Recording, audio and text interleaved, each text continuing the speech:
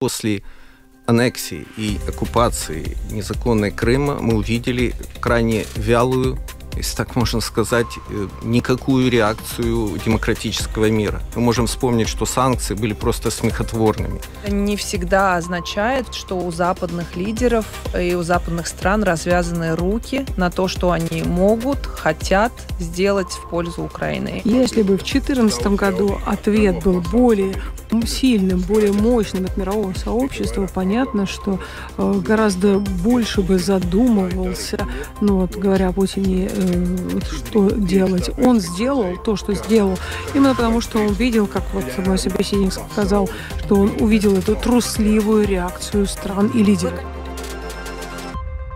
Добрый день, уважаемые радиослушатели. Открытый разговор, как обычно, в 12 э, часов и 8 минут. Сегодня вторник. И у нас важная международная, я бы сказала, тема. Третий парламентский саммит международной крымской платформы. 24 октября в Риге соберет делегации как минимум из 40 стран. И даже, может быть, и больше будет. И крымская платформа – это инициированный Украиной международный координационный механизм для возвращения вопроса Крыма в повестку дня защиты прав человека в Крыму и содействия деоккупации оккупации полуострова, укрепление европейской и глобальной безопасности. Вот так несколько, может быть, это звучит так э, казенно, да, но мы будем говорить, я надеюсь, более простыми словами, для того, чтобы до... наши мысли, те, которые сегодня собрались в студии, с нами смогли понять лучше всего. Давайте представлю своих гостей, потом уже эм, ну, а, обозначу немножко тему, по которой мы будем говорить. Элина Враблевская, исследователь Центра исследований восточноевропейской политики и доцент э, Рижского университета имени Страдани. Здравствуйте. Здравствуйте. Янис Скрастыч, глава депутатской группы по парла парламентским связям с Украиной Верховная Рада, один из основателей Крымской платформы, секретарь комиссии Сейма по обороне, внутренним делам и предотвращению коррупции. Янис Лабдиен. Лабдиен. Э, приветствую нашу Хелену, э, дорогую, которая переводит всегда наших гостей. Э, спасибо, Хелена, что пришла. И Олег Кудрин, корреспондент Национального информационного агентства Украинформ в странах Балтии. Здравствуйте, Олег. У нас э, не первый раз уже в студии. Приветствую наших э, подписчиков в сети YouTube. Э, спасибо, что вы с нами. Сегодня тоже обязательно посмотрите эфир и будем обсуждать. lr4.lv кнопка «Написать в студию». Туда шлите вопросы. И 28040424 – это наш WhatsApp, уже знакомый нашим радиослушателям. Пишите туда вопросы, свои реплики по поводу Крыма, судьбы Крыма. Тут я давайте я скажу справку.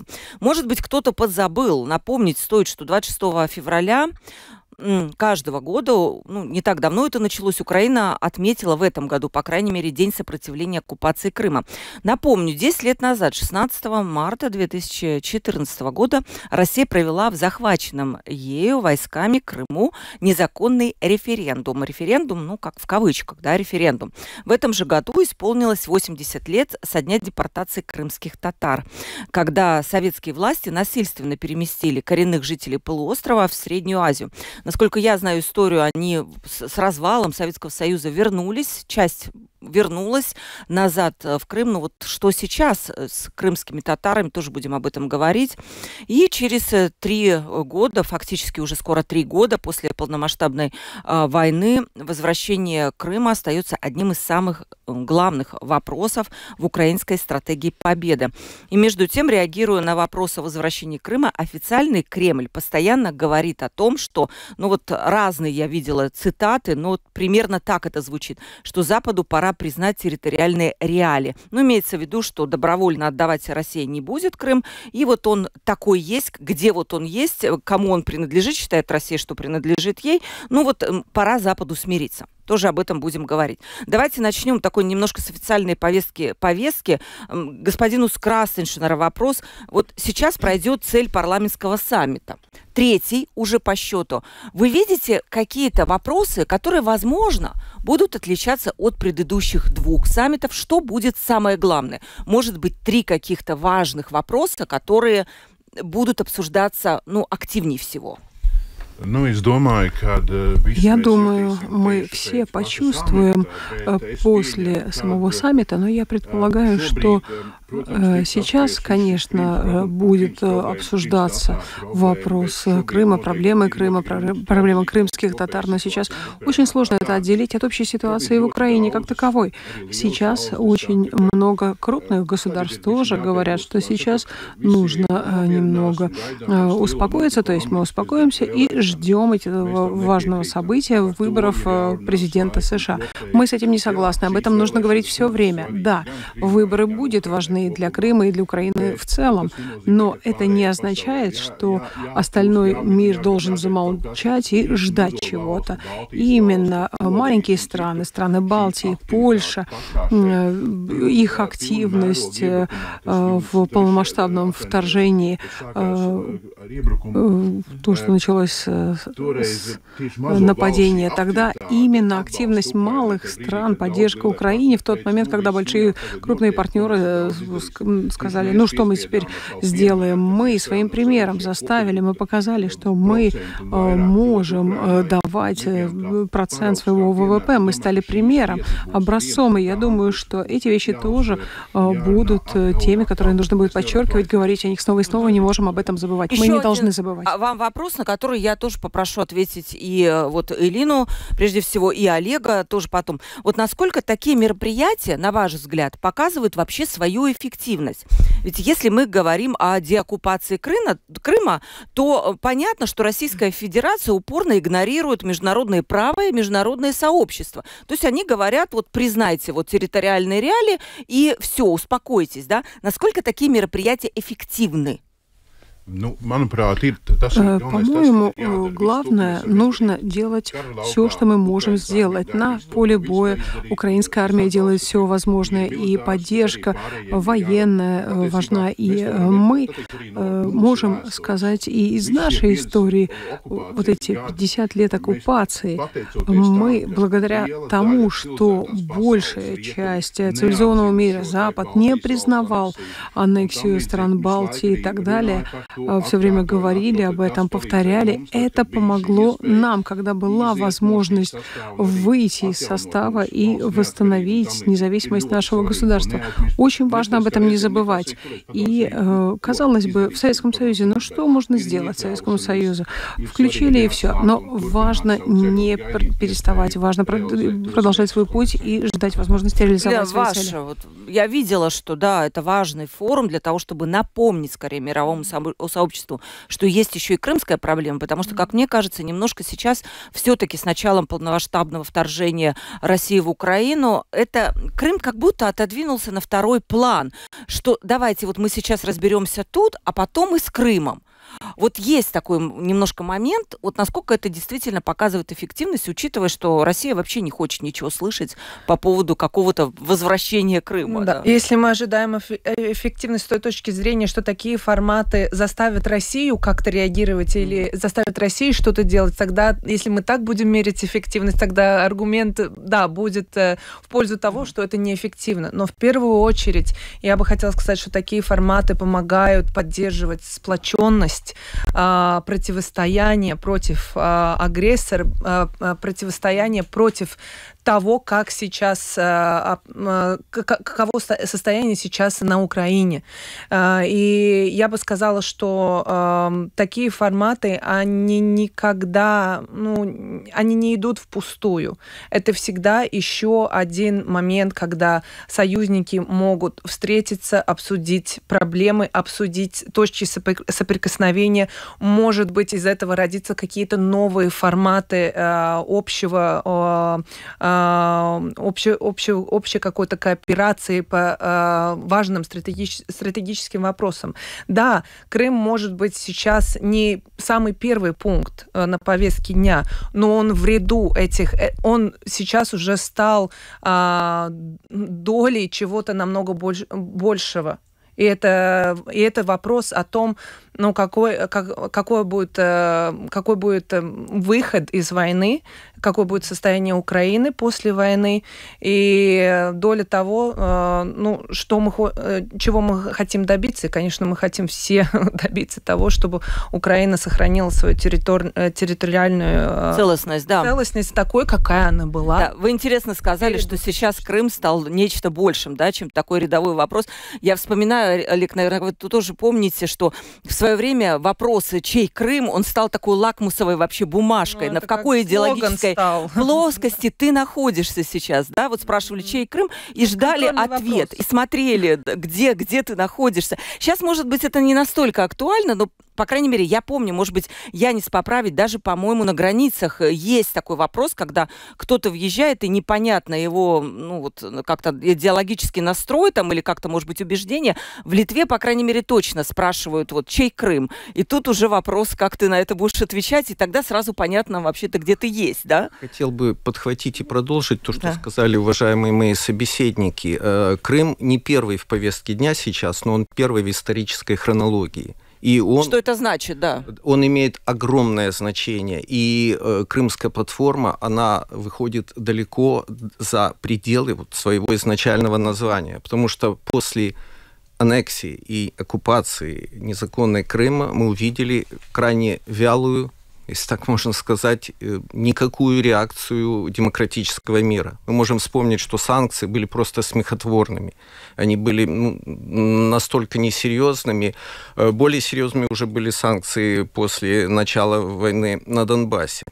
Э, поэтому так важна эта платформа, и поэтому она настолько болезненно воспринимается российской стороной, сторон, страной агрессии. А как они, кстати? Вы, смотря, просто следите, видите эту реакцию на эту крымскую платформу, что говорят? После начала полномасштабной войны они уже не, не, не так сильно реагируют. Это стало для них будничностью, что тоже можно понять, поскольку после этого уже произошло еще, еще э, одно вопиющее нарушение международного права, так называемые референдумы, так называемое mm-hmm. присоединение еще четырех регионов Украины. Но они, да, продолжают реагировать также негативно. И также хочу э, повторить может быть, другими словами, то, что уже было сказано, э, то, что после саммитов Крымской платформы и, больш... и общих саммитов, и парламентских саммитов не наступит деоккупация, на данный момент, очевидно, все решается на поле боя. Но это не значит, что их не нужно проводить, потому что это война, многомерная война, война между демократиями и диктатурами. Многомерная она идет на разных фронтах, и военном, и дипломатическом, и экономическом, и информационном. Э, дипломатический фронт не менее важен. Э, Руслан Стефанчук вчера был в Вильнюсе, э, там была межпарламентская ассамблея украинско-литовская. Сегодня он представил план победы в эстонском парламенте Рики Когу. И он подчеркнул, что ведущие темы с украинской точки зрения будет восстановление территориального территориальной целостности и суверенитета на, на этом саммите. Это будет ведущая тема, отталкиваясь да, от Крыма как от первого прецедента. Да. Вы хорошо сказали про то, что реакция Запада была слабой да, откровенно. И тут вот у меня вопрос. Если бы украинцы все-таки в какой-то мере в 2014 году воевали за Крым, я не знаю, как это, вот не хочу сейчас даже предполагать, как это могло бы быть, даже пускай символически. Как вы думаете, а, отважился бы Путин на, скажем, агрессию в сторону Донбасса и дальше уже, как мы видим, куда это развернулось? Не, вот не было ли это ошибкой, то, что, в общем-то, Крым отдали? Я думаю, что это было, конечно же, ошибкой, но э, скажу по своим ощущениям. И то, что произошло в 2014 э, году и затем полномасштабное вторжение, я, хоть и слежу за всем тем, что происходит в мире, я был в шоке. Я, честно говоря, не мог себе представить, что в 21 веке в Европе здесь может происходить что-то подобное. Казалось, что мы к этому более или менее готовы, потому что ну, знаешь, чего можно ожидать от соседа. Был шок? Был, был. Мне казалось, что э, такими методами, которые похожи на э, 40-й год в Латвии, Литве, Эстонии и так далее, что опять это еще раз делать похожим образом, мне казалось э, это очень и очень странным. Мне казалось, что мы в нашем развитии в 21 веке уже продвинулись гораздо дальше. И, э, возможно, тем э, руководителям государств, которые дальше отсюда находятся, сложнее это было э, принять.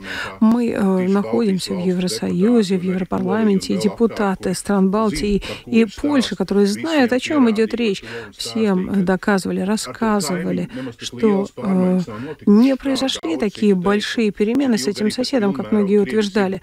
И после полномасштабного вторжения России в Украину мы раскачивали, пока не раскачали Германию, например, чтобы они начали хоть сколько-то помогать э, военным образом Украине. Было очень большое сопротивление. Конечно же, если бы в 2014 году ответ был более сильным, более мощным от мирового сообщества, понятно, что э, гораздо больше бы задумывался, ну вот говоря о Путине, э, что делать. Он сделал то, что сделал, именно потому, что он видел, как вот мой собеседник сказал, что он увидел эту трусливую реакцию стран и лидеров. Вы качали головой, вы говорили да. нет, вы не согласны, да? Если позволите, да, я не вполне могу согласиться с глаголом «отдали».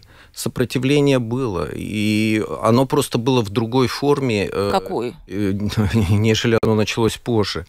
А, Украина на тот момент украинские вооруженные силы психологически не были э, готовы к большой войне. И это и, и психологически, и технически, и всячески. Страна находилась под управлением, ну, скажем честно, президента-предателя Януковича. Э, российская агентура пронизывала силовые структуры очень сильно. Э, в Крыму местные воинские подразделения украинские формировались из местных жителей. И это была хорошо подготовленная спецоперация. Это была гибридная война, которой не только Украина, но, повторюсь, и мир не был готов. Сопротивление было, повторюсь, в другой форме. Там старались не пускать в ход э, огнестрельное оружие с украинской mm-hmm. стороны. И можно вспомнить, и несправедливо об этом забывать. Есть художественный фильм, если не, не ошибаюсь, он называется «Черкасы» по имени корабля э, эти подонки, извините, штурмовали по ночам. И там бои были примерно как раньше были бои между фенами футбольными. То есть дрались просто дубинками, черен, черенками. И по ночам они штурмовали, украинские подразделения отбивались. Тогда еще не хотели допустить э, огнестрельной войны. Тогда же блокировались украинские военные части э, украинские э, патриоты, активисты э, подвергались э, жесточайшему преследованию. Крымские катары, татары, надежные сторонники украинской государственности тоже. Э, нельзя забывать о том, что похищены были десятки людей и запытаны там. Понимаете, несправедливо это все будет назвать словом «отдали». Это не отдали. Это была гибридная uh-huh. операция, повторюсь, к которой мил, мир не был готов. И уже только после захвата Славянска uh-huh. Гиркиным, который сам хвастался, что война началась с него, началась настоящая огнестрельная война. И тоже можно вспомнить, что было несколько случаев, и несколько погибших в Крыму были с украинской стороны, угу. застреленные оккупантами. Угу. Вот это очень важное, по-моему, дополнение. Да, Элина, как вам кажется, все-таки, ладно, мы будем аккуратнее говорить слово «отдали», «не отдали», но фактически можно сказать, что, скажем, слабая реакция мирового сообщества стала таким, ну, таким э, классикой безнаказанности, да, то есть когда тебе что-то не отдают, ну, по крайней мере, ты спокойно это можешь забрать, да, то ты двигаешься дальше, да, не было вот такого отпора. Может быть, вам, как кажется, чему-то научил это мир? Вот эта вся история, опять же, с Крымом и дальше с Украиной, с Донецком, какая-то, я не знаю, вошло я это в, в учебники, и, по крайней мере, как-то это потом дальше... Я надеюсь, хотелось бы так думать. А, может быть, немного а, продолжив а, то, что уже сказали мои собеседники, я бы тоже не хотела бы говорить, что прямо Крым отдали. Но если мы говорим о реакции Запада, союзников, на то, что происходило в 2014 году, тогда я абсолютно согласна, что реакция была неадекватна ну, непропорционально маленькая, недостаточная, ну, несерьезная на то, что происходило тогда. Если мы сравниваем сейчас, ну, конечно, немного некорректно, может быть, сравнивать, потому что сейчас э, война совсем других масштабов. Э, но я бы хотела сказать, что Запад, э, я думаю, по большей степени, в большинстве случаев, все-таки учился на примере 2014 года, понимает всю серьезность ситуации. Но это не всегда означает, что у западных лидеров и у западных стран развязаны руки на то, что они могут, хотят сделать в пользу Украины. И мы видим, что особенно внешнеполитические какие-то перипетии, а, выдуманные, невыдуманные красные линии, которые а, предполагаются есть у России, разных, многих всяких препятствий, э, препятствий высвечивается э, в теме тех вопросов, ну, например, э, про, про то же, может ли Украина использовать э, оружие на территории России. Ну вот, вот, например, например, США, они говорят, что вот красная линия, мы не хотим провоцировать uh-huh. Россию. Все-таки, ну, нету такой ситуации, что западные союзники говорят, ну все, мы в банк идем. Такого, конечно, нету. Есть какие-то политические, экономические причины, почему что-то происходит быстрее, что-то медленнее. Но, в принципе, я бы сказала, что нету больше такой по большей части нету такой наивности по поводу того, что может или не может сделать mm-hmm. Россия. Насчет э, судьбы крымских татар, я понимаю, будет обсуждаться эта тема. И там даже в каком-то пресс-релизе я видела, что будут искать новые пути, как вот эту судьбу как бы помочь решить. А что тут может быть? Вот есть эти крымские татары, я понимаю, там многие эмигрировали после как раз аннексии.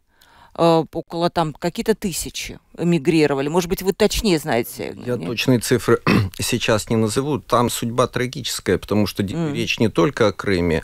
Ну, Крымское ханство когда-то распространялось на Крым и на прилегающие территории нынешние территории Херсонской и Запорожской области Украины. И те крымские татары, которые э, жили там или которые мигрировали, мигрировали, не эмигрировали, переместились туда после оккупации Крыма, они повторно оказались под российской оккупацией да. после 24 февраля, э, что совершенно ужасно. И в первую очередь призываются в армию страны-агрессора крымские татары. Э, они подвергаются там жесточайшим репрессиям.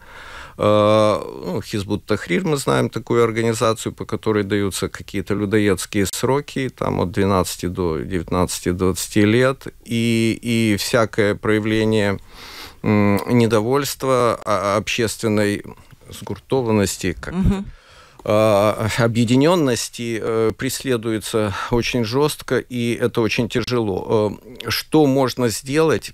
Ну, информировать прежде всего мировую общественность, чтобы она э, боролась за, за этих людей. Э, там адвокатов преследуют самое... То есть права человека, да? Да, да, да. Ну и помогают в какой-то степени мусульманские страны, Турция, в которой Кремлы, как называют само название крымских татар, очень много сколько Российская империя их вытеснила. Турция помогает, ну и другие э, мусульманские страны помогают э, иногда освобождать, как вот сейчас. Да, кстати, интересно, что Турция, она недавно была встреча с, с Путиным Эрдоганом, и он сказал, что Крымский полуостров должен быть возвращен, и, по-моему, в российской прессе это вызвало такое, как мы не ожидали от Эрдогана, что он встанет вообще вот так вот, да, вообще удивительно, нет? Nu, Turcija kopumā ir diezgan Турция в целом такая многообразная страна, и они занимает э, такую э, позицию. С одной стороны, с другой стороны, их пляжи доступны для российских туристов. Но если мы вернемся к крымским татарам, после передачи у меня э, предусмотрено две, две встречи. Одна из них с депутатом украинского парламента. Мы будем говорить об украинской платформе. И вторая встреча с Тамилом Ташевым. Он представляет, является представителем президента в автономном Крымском округе. И с ним мы будем как раз говорить о том, как мы можем обсуждать эту тему на саммите и что еще мы можем сделать, потому что, как коллега правильно сказал, там очень сложная ситуация, очень. Но это не значит, что эти вопросы не следует поднимать. Об этой теме нужно говорить снова и снова. Есть что добавить? Да. Если позволите да. коротко, э, начинается в Казани саммит БРИКС, БРИКС плюс, да. и там тоже уже российская сторона анонсировала встречу на полях и разговоры с э, Реджепом Таипом Эрдоганом. Очень интересно будет послушать, что он там скажет. Э, двойственная политика. С одной стороны, он освобождает э, командира Азова, а с другой стороны, там продолжает mm-hmm. торговлю, продолжает принимать российских граждан, российские капиталы. И так и в этом случае. Да, по-моему, мир просто часто, многие страны в мире действуют согласно своим каким-то экономическим интересам и, в общем-то, наверное, где-то игнорируют какие-то вещи, которые которые, ну, не знаю, как-то можно оценивать. А, ну, Турция один из, мне кажется, самых наглядных примеров uh-huh. тому, что, может быть, э, в какие-то моменты политические, дипломатические есть какие-то вот эти большие, а, большие публичные анонсы про, про, про, про всякие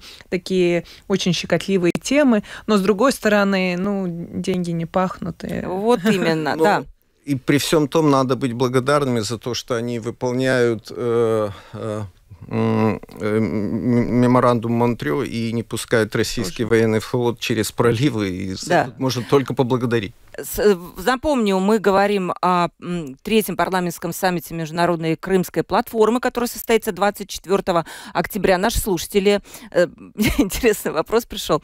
Дайте нам, пожалуйста, гости, четкое определение, что такое оккупированная территория. Э, и наш слушатель даже добавляет дальше, большая часть земли оккупирована мощными странами. Ну, в историческом контексте, наверное, да, постоянно шли войны.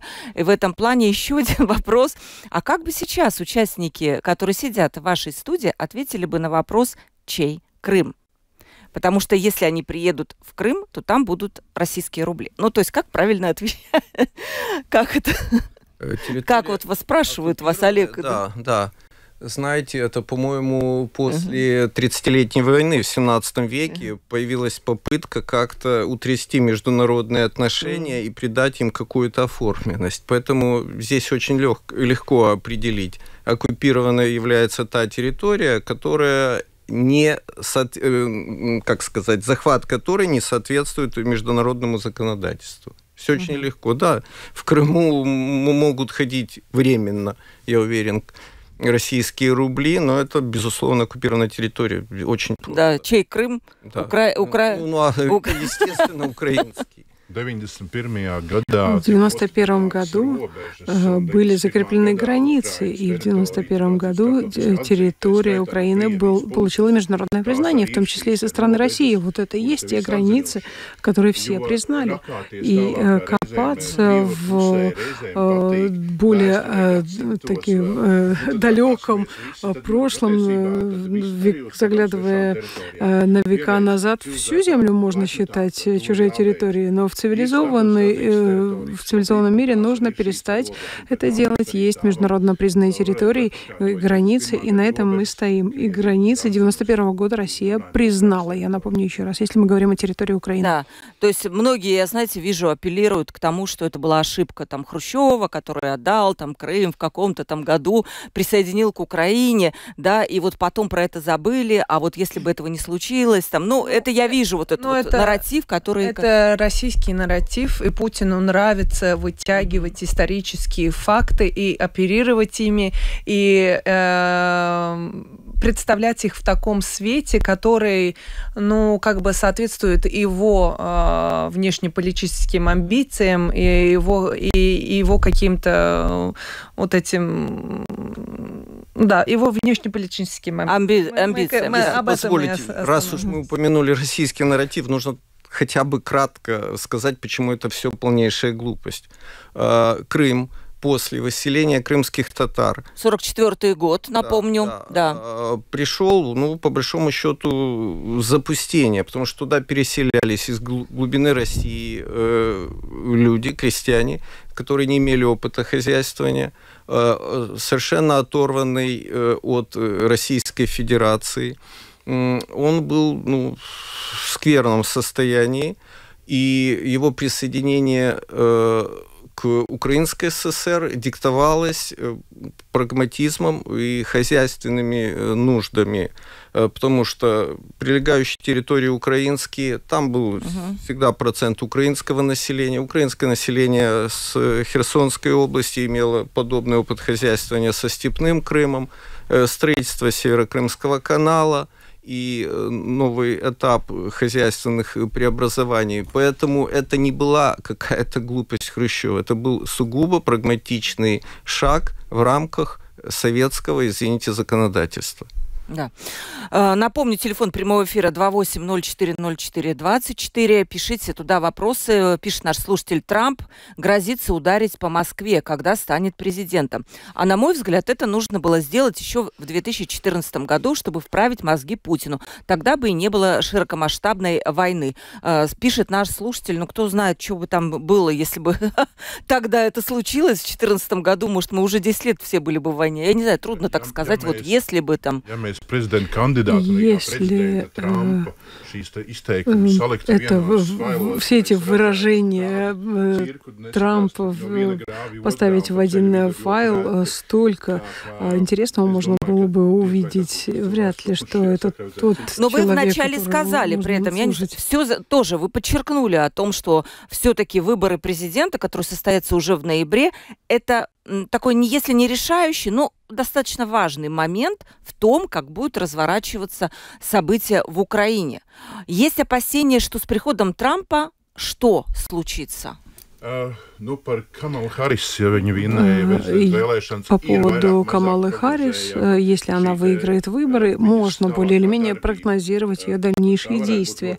И э, они могут быть очень похожи на те, что сейчас у президента Байдена, с надеждой, что она будет немного более активной и улучшит ситуацию, потому что в последнее время господин Байден очень-очень-очень мало активен, скажем так. Трамп — это большой мистер Икс. Э, от него мы слышали все в том числе оказалось даже и угрозы бомбардировки Москвы, и э, также э, и о том, что он принудит президента Зеленского капитулировать. Но э, так, от такого большого неизвестного, ну, это очень большой вопрос. Э, мне кажется, э, разумный мир все же надеется на более прогнозируемого э, президента, на победу. У которой четкая позиция есть, да, уже заранее озвученная четкая позиция. Да. да, примерно понятно, чего можно ожидать от э, возможного президента. От, с Трампом ничего не понятно. С Трампом мы жили, или с другой жили, стороны, выжили. да, вы, выжили, жили, ничего какого-то ужасного мирового хаоса не случилось. Был он, ну, может быть, это не так все ну, тут, э, я думаю, пару вещей, ну, надо немножко так сложить по полочкам. Во-первых, по поводу Трампа абсолютно согласна. А самое большой, э, самый большой его минус – это непредсказуемость. А, но надо, а, надо как бы немножко безэмоционально смотреть на него, потому что не все, далеко не все, что он говорит, он может сделать и делает. Так что то, что плохо в Трампе, то, что он как бы э, он, э, он э, нагоняет на многих панику своими высказываниями по поводу того, что он сделал бы, не сделал бы, сделает, не сделает. Но реально его поступки, они все-таки отличаются от, от, того, что он, от того, что он говорит. Так что а, ну, сеять панику по поводу того, что если будет Трамп, ну все, все, все будет плохо, я бы осторожна с такими высказываниями. Но при этом, Олег, ну, насколько было вообще обидно слышать, когда были какие-то предвыборные дебаты, когда Трамп сказал про Украину, что как-то там были очень обидные слова. Я сейчас боюсь ошибиться, чтобы ни в коем случае там не наврать, но что-то такое Украина там себя изжила, ну что-то... Знаете, если были слышать эти слова, то нужно послушать другие. И вот они уравновесятся. но общения... все-таки президент США, ну, имеет вес, да, в мире, а, чем... А, у меня было интервью с девятым президентом Латвии Раймондсом Вионисом, и как он сказал, господи, по поводу Трампа, чего не скажешь на жестких, нет, на таких жестких предвыборных баталиях. Вот, поэтому как справедливо сказали, его слова не всегда соответствуют угу. поступкам. Два пункта коротко хотел бы сказать в связи с этим. Первый. На Рижском кинофестивале в воскресенье э, прошел фильм в программе «Фестивал Selection» о Трампе. Забыл сейчас, как он называется. Очень хороший фильм о молодости и становлении Трампа. И многое станет понять. Художественный, не документальный, художественный фильм с хорошими актерами. Али Абаси, иранский режиссер, Просто советую посмотреть его. Я уверен, что если он уже был на РИФ, то дальше будет в кинотеатрах и потом по телевидению. Он показывает суть во многом Трампа, и даже не уверен, что Трамп на него обидится, хотя там есть много. Угу. Казалось бы, неприятно. А второй пункт, второй пункт. Важно учитывать, что это будет Трамп 2.0. Трамп 2.0, когда он уже во многом все-таки э, республиканскую партию перестроил под себя, и он уже имеет опыт. Он уже имеет опыт, э, знает, чего ждать от американской демократической системы, а он не любит ей подчиняться, он любит управлять э, как он раньше управлял только своим бизнесом. Вопросы от слушателей. Еще озвучу сейчас один скажу, а потом у нас еще около трех уже поступило. А, почему не чувствуете ли вы, наверное, я, я вижу, что это больше вам вопрос, может быть, Элине тоже, что со временем, вот спустя там три года, поддержка Украины становится слабее, чем дальше от, э, скажем, чем дальше в Западную Европу, тем меньше это чувствуется. И не, нет ли здесь угрозы, спрашиваю спрашивает наш э, слушатель. Я думаю, что слушатель прав. А, это э, так и есть. И это является одной из причин, почему э, такой саммит, как сейчас происходит, проводится в Риге, необходим. А, устают не только те страны, которые далеко от Украины, устают и те страны, которые находятся поблизости, и мы должны друг друга поддерживать. Мы все надеялись, что будет быстрее, более успешно, и, э, э, как говорится уже, да, мы начали шить э, платье для победного бала, но, наверное, его еще нужно подождать. И мы должны поддерживать демократическое общество, должны держаться вместе. Да, тоже. Если мы говорим о, о помощи Украине, то сейчас уже довольно ясно видно по, потом по тому же примеру Германии, Франции, по тому же примеру США, которые, окей, сейчас в таком подвешенном состоянии перед, перед выборами. Хорошо.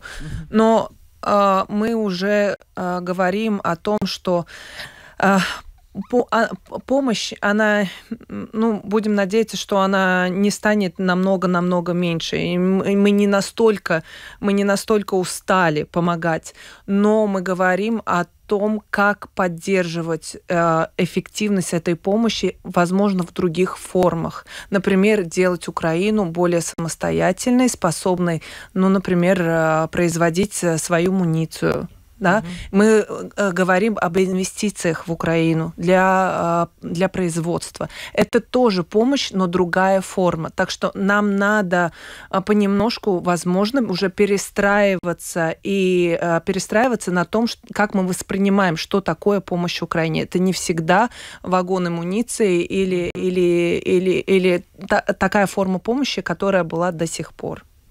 Очень важно, очень важно здесь связать, да, с крымской платформой, как господин Скорастинч это сейчас сделал. И да, и именно для этого э, нужны подобные мероприятия, за что огромное спасибо Латвии. Третья замечательная столица Загреб, Прага, Рига. Да. А, это одно. Второе, да, затягивание большой войны крайне опасно. И не только для Украины, потому что у России людские и прочие ресурсы больше. И она э, используют поддержку других авторитарных, тоталитарных стран, надежную и очень стабильную поддержку. Это очень опасно для демократического мира. И тут балтийские страны и Польша должны объяснять дальше, извините, по цепочке, насколько это опасно. Мы видим негативные процессы, которые сегодня идут в Германии местных выборах, в Австрии на э, больших выборах. Э, мы видим Венгрию, no comment, непонятная немножко такая ситуация двусмысленная в Словакии. И чем дальше так будет, без более э, сильной помощи, поддержки, согласен, что она может быть в разных формах Украины, это будет затягиваться и приводить к огромным рискам. И еще один важнейший фактор – многомерная война. На это наслаиваются другие конфликты, которые вписываются в это. Война на Ближнем Востоке. Да. И сейчас недавно прошли учения, чрезвычайно опасные учения Китая э, по блокированию Тайваня. И уже в открытую буквально говорится, что в 27 году может начаться историческая война за возвращение Тайваня. Понятно, что на данный момент это прежде всего давление психологическое, но кто знает – кто знает. А представим себе, что... Да, на, на Ближнем Востоке год уже происходит... Э, происходит э, представим себе, да. что российско-украинская война, да, и раньше, позже, не знаем, а еще и тайваньская война наложится, да, то есть это, это действительно беременно э, мировой войной и противостоянием теперь, в отличие от Второй мировой войны, демократии и диктатур разделенных достаточно очевидно. Еще у нас мало времени осталось. Еще хотела бы вопрос эм, задать очень важный, как мне кажется. Вот сейчас много говорят о том, как же наконец прекратить войну. Вот Элина уже сказала, что один из вариантов это разрешить все-таки дальнобойным оружием бить на территорию России, но пока там консенсуса нет.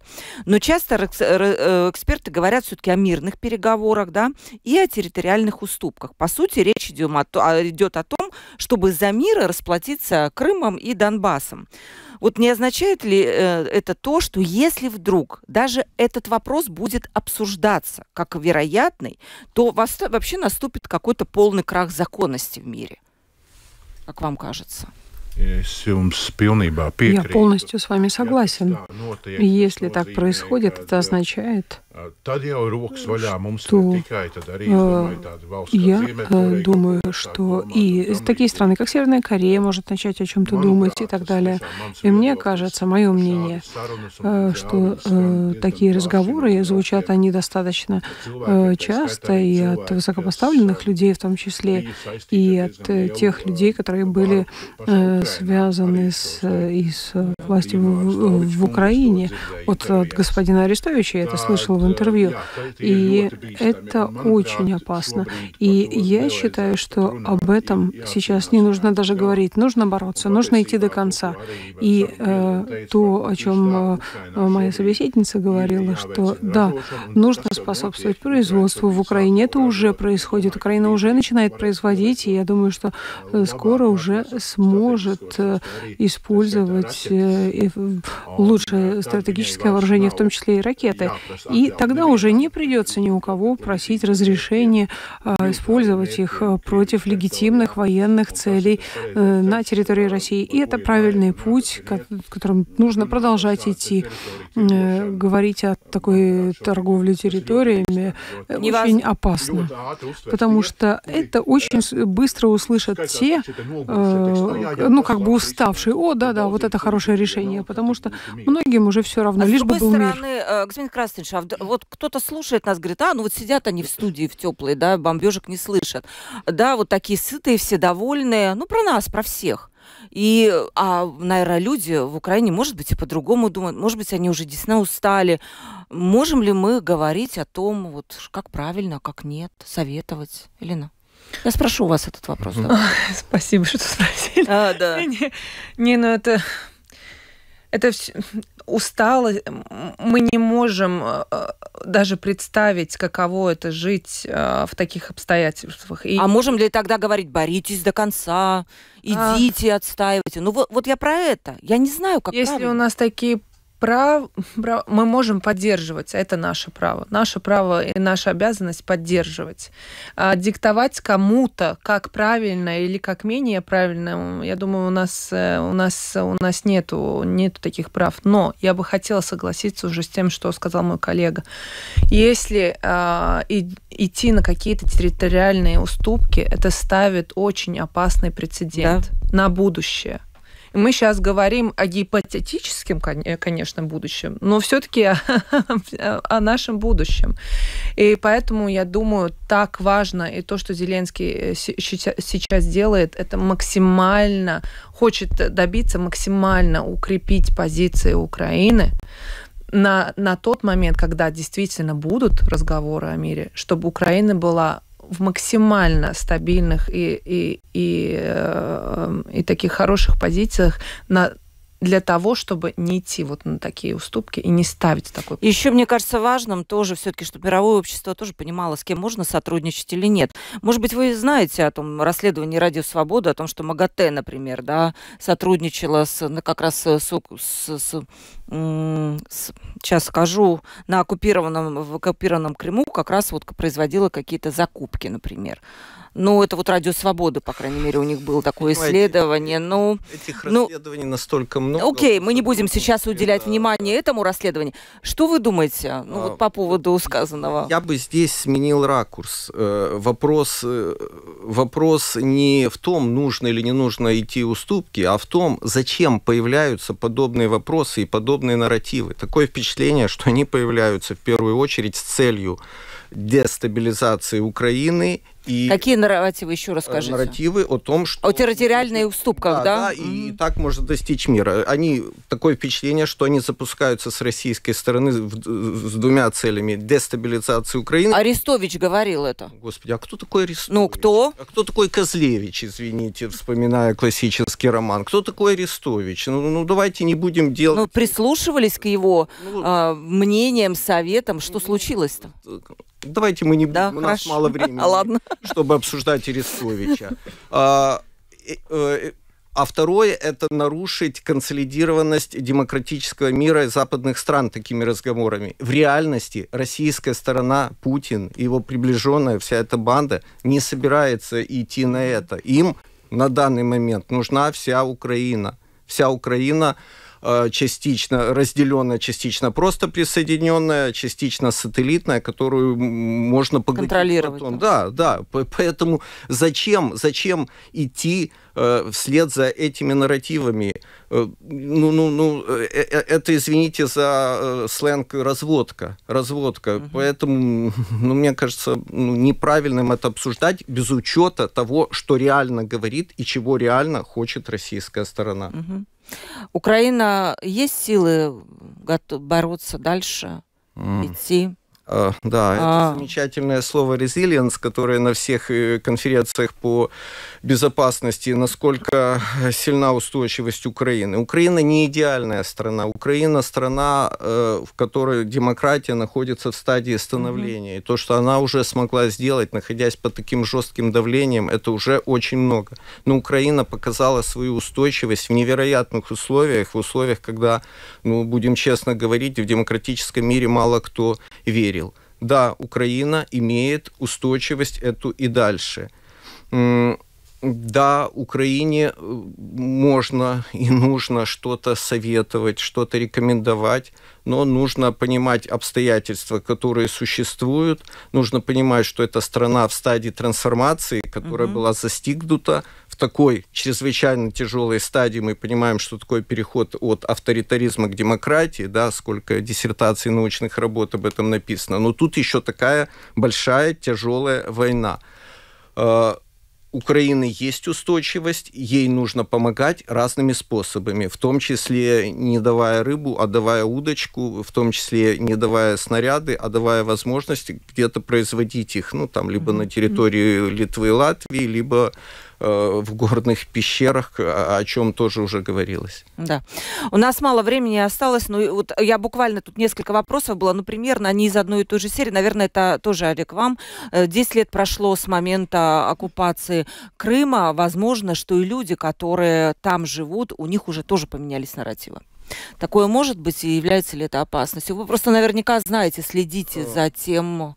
Э, ну, во-первых, во-первых, да, там э, какая-то часть населения уехала, наиболее проукраински настроена. Во-вторых, другая часть, там репрессивная жесткая система. Об этом хорошо поговорить рекомендую с адвокатом Николаем Полозовым, который много работал в Крыму, который хорошо угу. знаком со всеми этими проблемами. Он сейчас, естественно, в эмиграции, если не ошибаюсь, в Германии.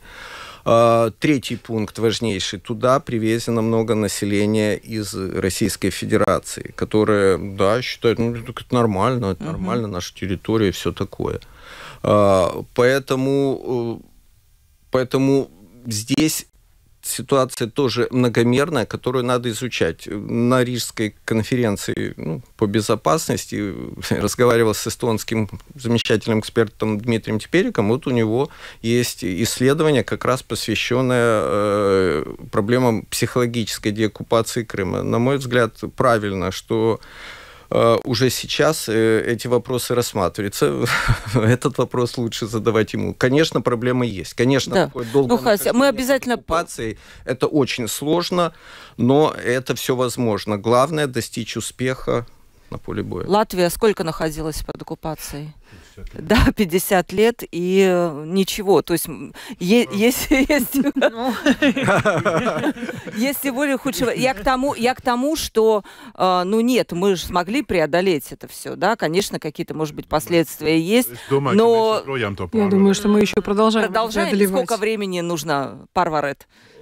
Сколько надо будет? Политическую систему Политическую систему можно изменить э, несколько раз за один день, но э, люди меняются гораздо медленнее. Сейчас еще много в Латвии говорят о демократии, не понимая, о чем говорят. Да? Демократия, как вы считаете, еще в, в процессе становления, Лина, да? Я думаю, что наше понимание э, это, это не в Латвии, это да. миров, мировоззрение такое, понимание о том, что такое демократия, что означает демократия, оно меняется оно меняется. Какие-то все-таки основополагающие принципы демократии должны Нет, быть конечно, есть, такие. мы как, э, да, ну... общество мы меняемся, поэтому меняется наше восприятие о разных вещах, о процессах, и это, мне кажется, только нормально. Спасибо. Я не говорю, что это плохо. Да, спасибо большое. Я надеюсь, что ваш форум будет э, продуктивным и что мы по итогам, возможно, тоже как-то сделаем или хотя бы в итогах недели поговорим об этом событии. Еще раз представлю гостей Лина Враблевска, исследователь Центра исследователь восточноевропейской политики, доцент Рижского университета имени Страдания. Спасибо. Янис Красныч, глава депутатской группы по межпарламентским связям с Украиной, Верховная Рада, один из основателей Крымской платформы. Спасибо большое. Олег Кудрин, корреспондент Национального информационного агентства эм, Укринформ в странах Балтии. Спасибо большое, дорогие друзья, что вы пришли, рассказали об этом событии. Вопросы, был, вопросов было много. Был один вопрос, который я Олегу потом задам после, после после этого нету времени. Провела передачу Ольга Князева, продюсер выпуска Валентина Артеменко, оператор прямого эфира Яна Дрейман. И завтра в 12.10 подключайтесь к открытому разговору. Сегодня всем пока, удачного дня.